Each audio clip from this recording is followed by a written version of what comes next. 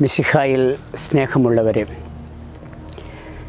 സ്വയം കണ്ടെത്തലിന്റെയും ആത്മപരിശോധനയുടെയും കാലഘട്ടമാണല്ലോ അമ്പത് നോമ്പ്.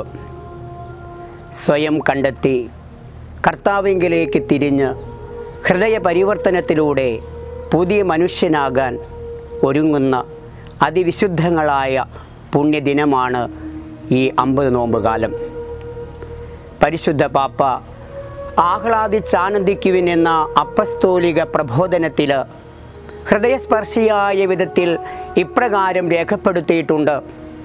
വിശുദ്ധനാകാൻ ആകാ കഴിയാതിരിക്കുക എന്നതാണ് ഒരു വ്യക്തിയെ സംബന്ധിച്ചിടത്തോളം ഏറ്റവും വലിയ ദൗർഭാഗ്യകരമായ വസ്തുത എന്ന്. പൗലോസ് അപ്പസ്തോലൻ തന്റെ ലേഖനത്തിലൂടെ നമ്മെ ഉദ്ബോധിപ്പിക്കുന്നു അശുദ്ധിയിലേക്കല്ല വിശുദ്ധിയിലേക്കാണ് ദൈവം നമ്മെ വിളിച്ചിരിക്കുന്നത് എന്ന്.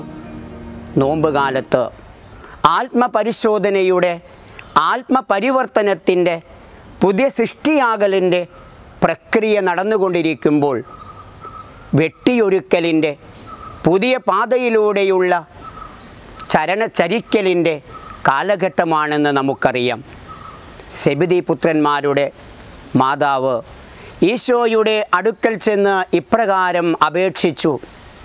അങ്ങയുടെ രാജ്യത്തിൽ എന്റെ മക്കളിൽ ഒരുവന് അങ്ങയുടെ ഇടതുവശത്തും അപരനെ വലതുവശത്തും ഇരിക്കുവാൻ കൽപ്പിക്കണേ എന്ന്.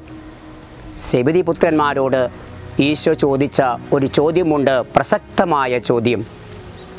ഞാൻ കുടിക്കാൻ പോകുന്ന പാനപാത്രം നിങ്ങൾക്ക് കുടിക്കുവാൻ കഴിയുമോ?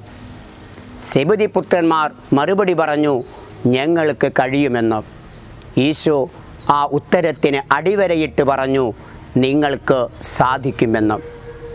ഈ ലോക ജീവിതത്തിൽ രണ്ട് വിധത്തിലുള്ള പാനപാത്രങ്ങളാണ് നാം കണ്ടുമുട്ടുക.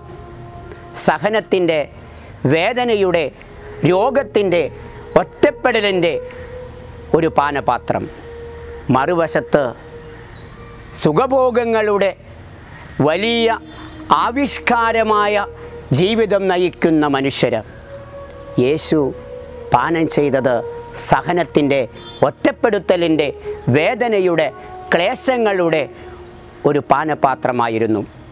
ക്രൈസ്തവ ജീവിതത്തിൽ യേശുവിന്റെ ഈ സഹനത്തിന്റെ പാതയിലൂടെ ചരിക്കാൻ നമുക്കാകുമ്പോൾ മാത്രമേ യേശു പാനം ചെയ്ത പാനപാത്രം നമുക്കും കുടിക്കാനാകൂ.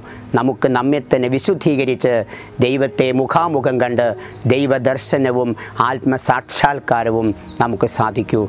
ഈ നോമ്പുകാലം ദൈവം നമ്മെ അനുഗ്രഹിക്കട്ടെ.